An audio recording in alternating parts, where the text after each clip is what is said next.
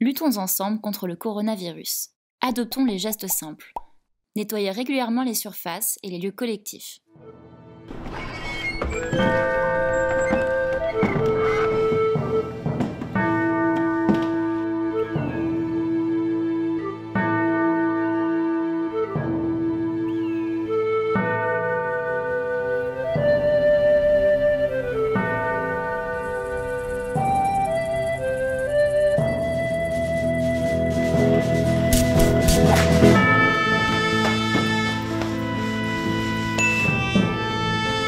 Régulièrement les surfaces et les lieux collectifs.